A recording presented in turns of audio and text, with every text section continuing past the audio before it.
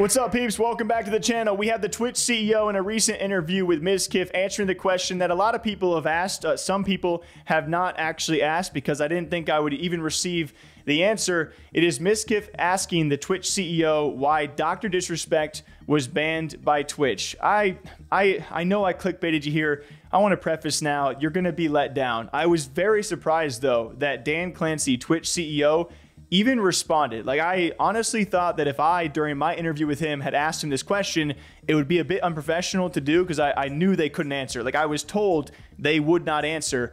So to hear him even give a response, I was really surprised and genuinely let down. Damn. After completing the Hot Ones challenge and defeating the last challenge for the last dab experience, the ch- Twitch chat wants to know after all these years why was Dr. Disrespect banned? wow, I've never had that one. That, whoa. Well, now that I'm on Miz's channel, let me tell you what really happened. Okay, so um, there was an alien invasion. Okay, many people did not know about the alien invasion. Okay, and um, uh, the aliens actually um, uh, possessed Doctor Disrespect. Oh. Okay, and um, uh, they, it actually took over the globe using Twitch. With the Shungite. Yes, yes, okay.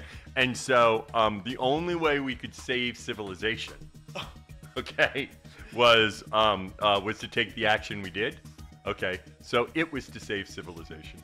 I we fucking were waiting for this for a while, Dan. We've been we knew this Okay, was the cause go. of action, and we finally yeah, heard yeah, the reasoning. yeah. So, Doctor Disrespect, we can say save civilization. Yes, yes. Okay, Dan, we've been that's what we've been wanting to know for fucking years. Mm-hmm. Holy shit, you finally answered the question. civilization because of an alien invasion. Thank you, Doctor Disrespect. Dan, you are a hero. In my opinion, you're a great CEO. I think you're doing a great thing for the platform. I think you have done a great thing for the platform so far, and you're very passionate about what you do. Like I was really hoping for a better joke, not to have the aliens mentioned, but apparently it was to have Doc save civilization. That is why Twitch had to ban him.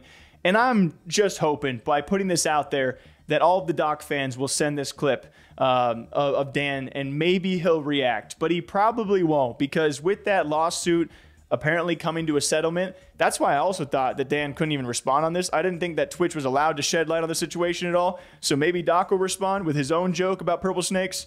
But um, yeah, we're never gonna find out the reason. Okay, so I hope all of you out there, thanks for sending me clips and stories. We do appreciate you guys being here. Thanks for subbing and leaving comments. It's been a great week of stories out there. We've been covering more Halo. I can't wait for Smite 2 and and more stuff coming soon. So thank you all for watching. What did you think about this and the reason why Doc was banned on Twitch? We're never gonna know. All right, till next time. Take care, guys. Bye bye.